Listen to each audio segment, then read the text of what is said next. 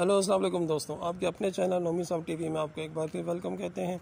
दोस्तों, जो दोस्त हमारे पाकिस्तान गए हुए थे और पाकिस्तान में फंस चुके थे फ़्लाइट्स ना होने की वजह से, उनके लिए बहुत बड़ी खुशखबरी है कि पीआईए ने अपनी तमाम फ़्लाइटें यूएई की सिटीज़ के लिए बहाल कर दी हैं, जिसके तहत 9 जुलाई को पहली फ़्लाइट चलेगी।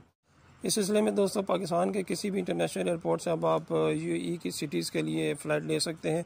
दोस्तों, फ़िलहाल जो यूई की सिटीज़ अप्रूव्ड हुई हैं, उनमें Al Ain international airport Dubai international airport के तमाम टर्मिनल्स इसके अलावा अबू धाबी इंटरनेशनल एयरपोर्ट और शारजा इंटरनेशनल एयरपोर्ट्स के लिए फ़्लाइट्स चलेंगी। और ये फ़्लाइट दोस्तों, पाकिस्तान के किसी भी इंटरनेशनल एयरपोर्ट से आप ले सकते हैं। और टिकट की बुकिंग के लिए आप पाकिस्तान में पी आई ए के बुकिंग ऑफ़िस से रबता कर सकते हैं। इसके अलावा पी आई ए के जो अप्रूव ट्रैवल एजेंट है, वहाँ से रबता कर सकते हैं या फिर आप पी ए की ऑफिशियल वेबसाइट से टिकट खरीद सकते हैं।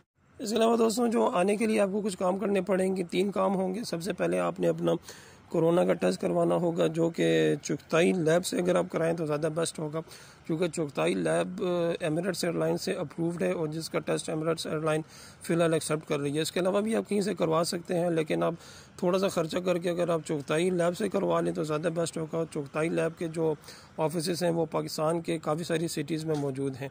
इसके लिए आप इंटरनेट पर मज़ीद सर्च करके एड्रेस वगैरह ले सकते हैं। दूसरी बात दोस्तों, आपने पी ई की ऑफिशियल वेबसाइट से एक फॉर्म डाउनलोड करना होगा, जो कि हेल्थ डिक्लेरेशन फॉर्म है, वो फॉर्म आपने फिल करना होगा, वो उस फॉर्म का दोस्तों लिंक आपको डिस्क्रिप्शन में मिल जाएगा।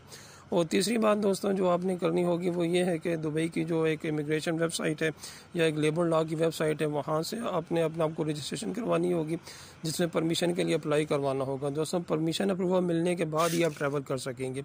और दोस्तों, इस वेबसाइट का लिंक भी आपको डिस्क्रिप्शन में मिल जाएगा। दोस्तों, ये सब चीज़ें करने के बाद आप आराम सकून से पाकिस्तान से ट्रैवल कर सकते हैं, दुबई के लिए, और दुबई से वापसी ट्रैवल भी आप पाकिस्तान के लिए कर सकते हैं। दोस्तों, ये जो कोरोना टेस्ट है, ये आपने 96 आवर्स से पहले करना होगा। जैसे आपकी फ़्लाइट जिस दिन है, उससे आपने कम अज़ कम तीन दिन पहले करना होगा, और इसकी रिपोर्ट आपने साथ लेकर एयरपोर्ट पर आनी होगी, तब आप ट्रैवल कर सकेंगे। जी दोस्तों, ये छोटी सी इन्फॉर्मेशन थी जो आपके साथ शेयर करनी थी। हो सके तो इस इन्फॉर्मेशन को तमाम दोस्तों के साथ शेयर करें और इसकी मज़ीद डिटेल के लिए आप गल्फ़ न्यूज़ की वेबसाइट पर जा सकते हैं और खलीज न्यूज़ की वेबसाइट पर भी आप इस खबर को चेक कर सकते हैं। तमाम डिटेल आपको वहाँ से मिल जाएगी। दोस्तों, वीडियो पसंद आई हो तो लाइक और शेयर लाजमन करें और चैनल को सब्सक्राइब भी लाजमन करें ताकि इस तरह की मज़ीद अच्छी और नई इन्फॉर्मेशन आपको अपनी मोबाइल ऐप पर बैठे बैठाए मिल सकें। दोस्तों, मिलते हैं नेक्स्ट वीडियो में। तब तक के लिए अल्लाह हाफिज़।